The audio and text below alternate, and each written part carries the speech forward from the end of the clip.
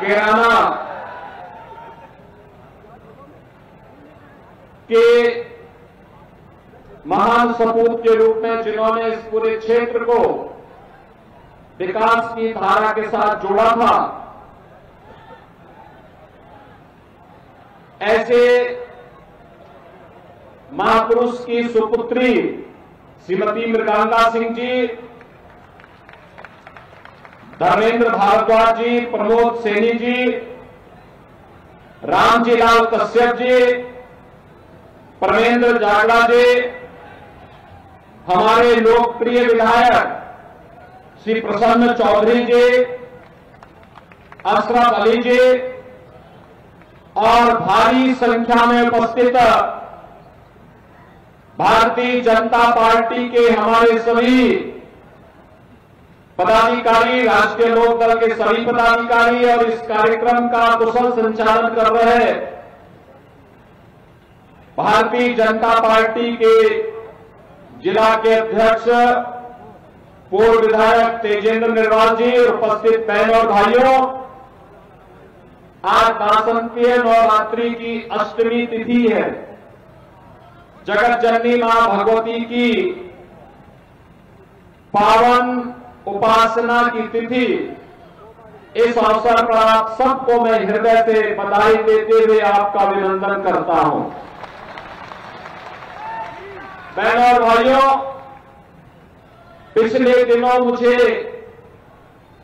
इस क्षेत्र में केराना की ओर जाने का अवसर प्राप्त हुआ था।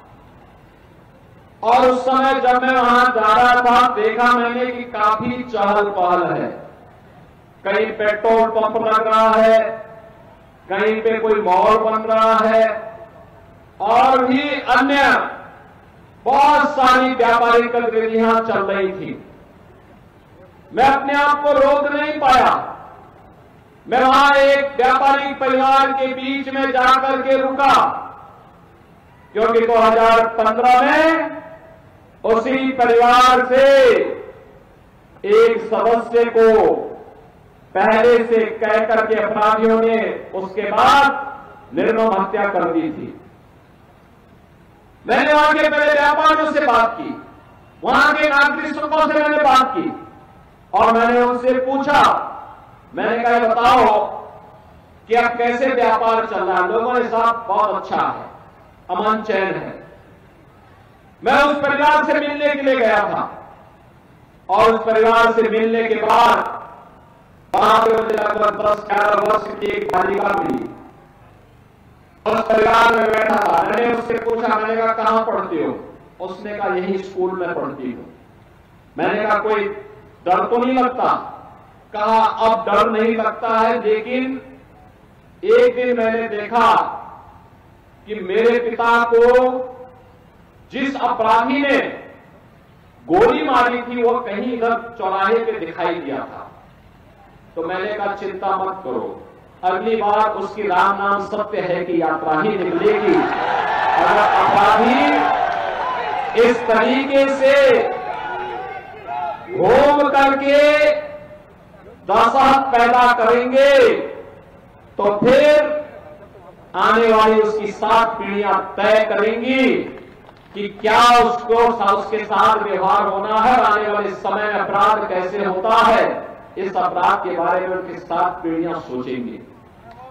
बहनों और भाइयों, मुझे प्रसन्नता है, बाद में कुछ दिनों के बाद उस मीडिया का एक पत्र मेरे पास आया, कहा हम अब सुरक्षित हैं।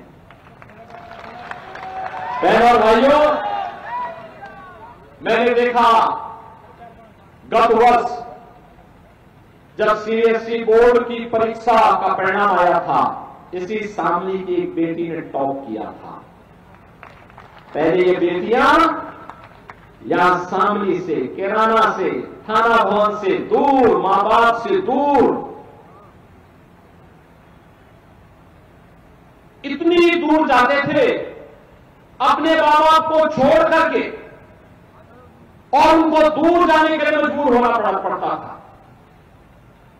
लेकिन बहनों और भाइयों, आज मुझे अच्छा लगता है, जब यहाँ की बेटियाँ यहीं पे रहकर और उत्तर प्रदेश माध्यमिक शिक्षा बोर्ड या केंद्रीय शिक्षा माध्यमिक बोर्ड की परीक्षा में टॉप करती हैं। और जब मैं लखनऊ बुला करके सम्मान देता हूँ और मैं पूछता हूँ, क्या कोई कोई समस्या तो नहीं? वे कहते, नहीं, समस्या कैसे आप तो हम सुरक्षित हैं।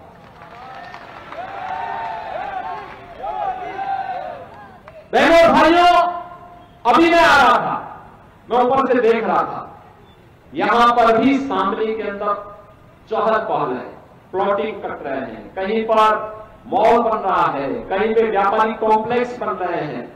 सड़कें चौड़ी हो रही है। विकास के साथ शामली केराना थाना भवन और पूरा शामली जनपद और पश्चिमी उत्तर प्रदेश जुड़ करके एक नया संदेश दे रहा है। बहन और भाइयों, जो परिवर्तन आज आपको शामली में देखने को मिल रहा है, ये सुरक्षा का हो या समृद्धि का? यह परिवर्तन पूरे प्रदेश में भी है और पूरे देश में भी है। आज पूरे देश के अंदर अगर आप देखेंगे, क्या परिवर्तन हुआ? दुनिया में भारत का सम्मान बढ़ा। सुरक्षा का बेहतर माहौल देश के अंदर हुआ। बड़े बड़े कार्य आप देखते होंगे, पहले आप दिल्ली जाते रहे होंगे। मेरठ से दिल्ली की दूरी चार से पाँच घंटे लगते थे। और आज मात्र 45 मिनट में आप इस दूरी को तय कर सकते हैं। रैपिड ट्रेन को रहे हैं। पश्चिमी उत्तर प्रदेश के अंदर यहाँ के नौजवानों के अंदर उनकी सामर्थ्य को देखते हुए प्रदेश का पहला पहला स्पोर्ट्स यूनिवर्सिटी हम लोगों ने इसी पश्चिमी उत्तर प्रदेश में मेरठ में दे दिया है। हमारा यहाँ का नौजवान पारुल चौधरी जैसी बेटी जब ओलंपिक में पदक जीतती है गोल्ड मेडल जीतती है। तो बहनों, भाइयों उसने बड़े गर्व के साथ कहा कि मैंने चीन को इसलिए पछाड़ने में मदद की क्योंकि हमारी सरकार ने कहा था कि गोल्ड मेडल लाओगे तो डिप्टी एसपी का पद सीधे सीधे दे देंगे। और हमने उनको नियुक्ति पत्र भी दे दिया है। नियुक्ति पत्र भी दे दिया है। यहाँ का नौजवान अपनी मेहनत से तो पढ़ाई से तो नौकरी प्राप्त करेगा ही। खेल के क्षेत्र में भी आगे बढ़ने का जो उसका सामर्थ्य है, उसके माध्यम से भी हम उसको आगे बढ़ाएँगे।